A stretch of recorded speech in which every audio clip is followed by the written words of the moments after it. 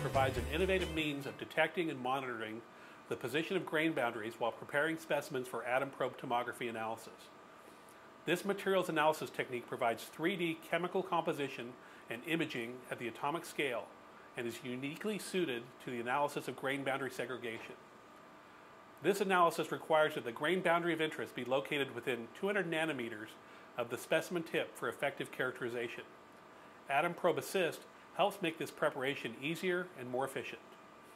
Atom Probe Assist can be used to characterize the grain boundary structure and character of a material, enabling users to better select a specific grain boundary type for atom probe analysis. Once selected, a FIB instrument is used to prepare a site-specific sample and the tip sharpened using repeated annular milling steps. Atom Probe Assist is used between each milling step to detect the grain boundary position. Once the boundary is within 200 nanometers of the specimen tip, preparation is complete. Because this process occurs in situ, within the FIB, the risk associated with transferring a sample to TEM is removed, and significant time savings are obtained for users.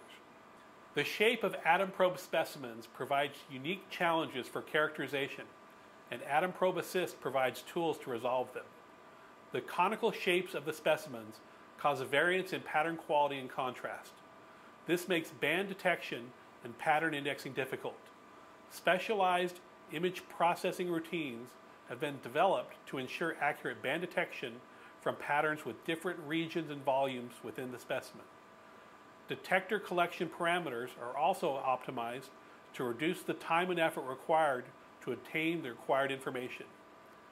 Using Atom Probe Assist makes specimen preparation easier and more efficient for Atom Probe users.